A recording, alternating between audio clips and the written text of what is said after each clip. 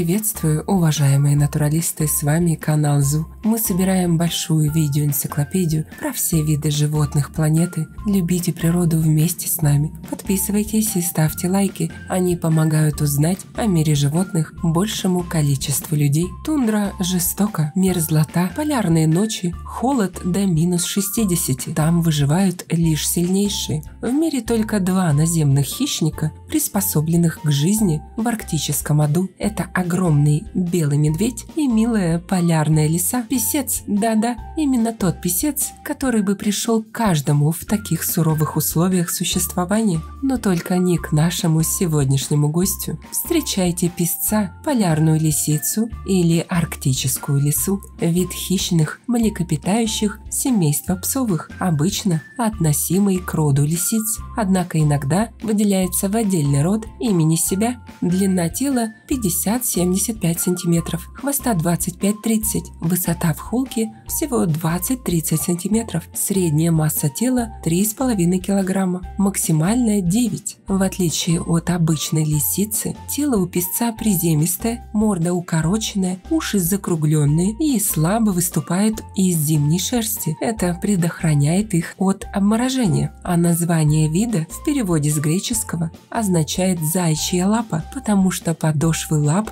у песцов покрыты жесткими волосами, и это тоже все от того же обморожения. Песец – единственный из собачьих, полностью меняющий окраску. Зимой белым, летом грязно-буро-коричневый, как и сама тундра, весенняя линька песцов, как правило, начинается в марте-апреле и длится до 4 месяцев. Осенняя с сентября по декабрь. Лучший мех у песцов бывает в январе-феврале. Мех скрывает истинные очертания песцов. Зимой они кажутся неуклюжими.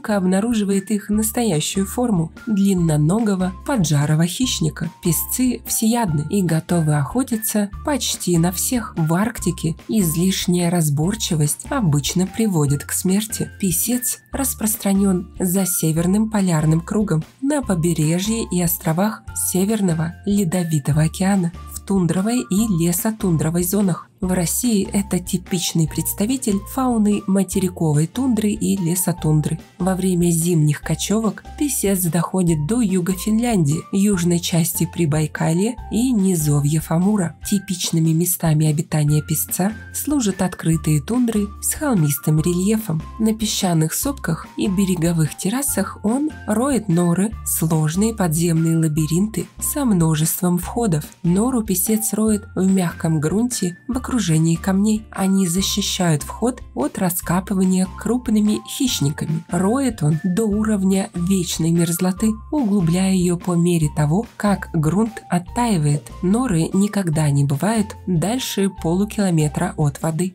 Подходящих мест для строительства нор тундре мало, поэтому песцы используют их годами, иногда на протяжении 15-20 лет подряд, а с перерывами сотни и даже тысячи лет так что некоторые холмы бывают сплошь изрыты песцами. Реже песцы селятся среди россыпей камней или на побережье. Зимой песец нередко довольствуется простым логовом прямо в снегу. Идеальная пища для песцов – это лемминги. На них песец охотится подобно обыкновенной лисе, мышкует. Он может учуять грызуна под 70-сантиметровым снегом и услышать его мельчайшие движения. После этого хищник нацеливается и прыгает головой вниз, и, как правило, попадает. Кстати, главный враг песцов при охоте за леммингами – это белая полярная сова. Ролик об этой красавице, которая не дает спуску песцам, вы сможете найти в плейлисте «Животные севера». Кстати, как и о главном друге песца – белом медведе. Этот грозный хищник часто не против разделить трапезу с маленьким песцом, который вряд ли сможет много отгрызть от туши какой-нибудь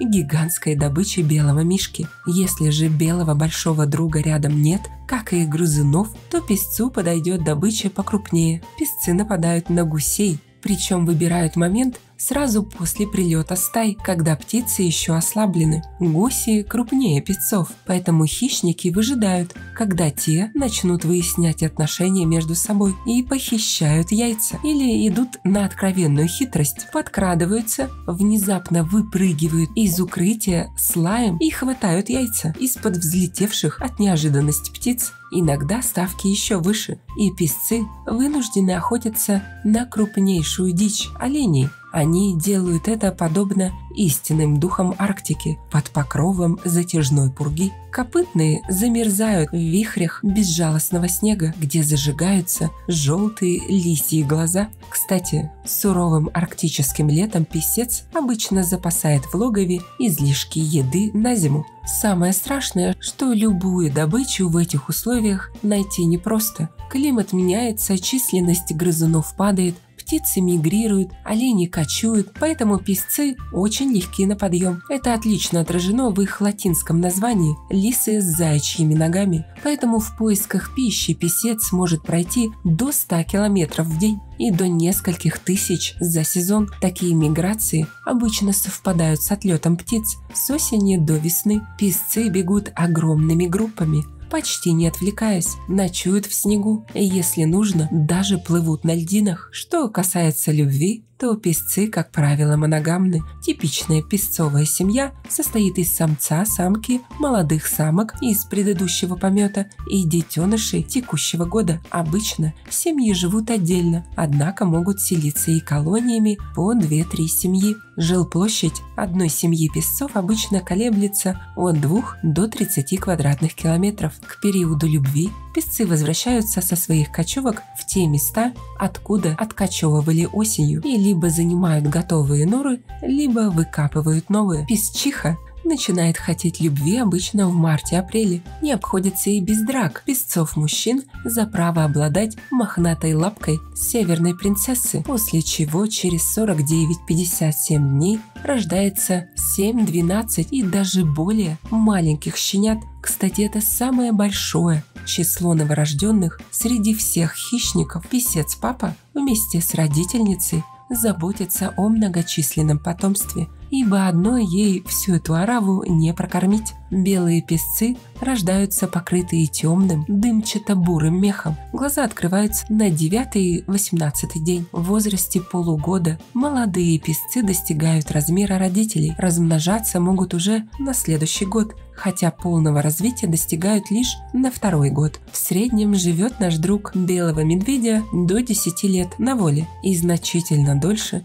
в условиях содержания лысыми приматами. Численность песцов подвержена резким колебаниям в зависимости от обилия кормов. Большое влияние на численность местных популяций оказывают иммиграции. Каждую осень множество зверей, населяющих тундры, направляется вдоль морских побережий и речных долин к югу. Весной песцы постепенно возвращаются назад. В голодные годы эти переселения принимают особенно массовый характер, и многие из кочующих погибают. Песца преследуют и более крупные хищники. На него нападают росомахи, волки, а молодых песцов хватают орланы и белые совы. Ну а люди используют песца как источник ценного меха. Особенно ценятся шкурки голубого песца, который является также объектом клеточного разведения. На островах, окруженных незамерзающим морем, налажено полусвободное разведение песцов. Это когда песцы живут на свободе и по сигналу прибегают на корм к специальным ловушкам, где их при надобности и отлавливают. Фермы для разведения песцов имеются в северных и средних широтах Америки, Европы и Азии – в общем, надеюсь, шубу из песца никто из вас не захочет. А как вы думаете, может быть, белому медведю просто одиноко? Раз он не против дружить с песцом, пишите свое мнение в комментариях. Также обращаю ваше внимание на то, что у нас появились дизайнерские брендовые футболки от канала. Пока я сделала великого медоеда и его русскую сестричку Росомаху. Приобрести их можно по ссылкам в описании к видео. Спасибо, что посмотрели этот ролик. Не забывайте ставить лайки, писать комментарии о том, какого бы животного вы хотели бы увидеть в следующем видео и делиться этим видео с друзьями. Это очень помогает развитию нашего небольшого сообщества. Подписывайтесь на наши паблики по ссылкам в описании к видео. Там много интересного. С вами был канал Животных ЗУ. Мы собираем большую видеоэнциклопедию про все виды животных планеты. Любите природу вместе с нами. До скорых встреч!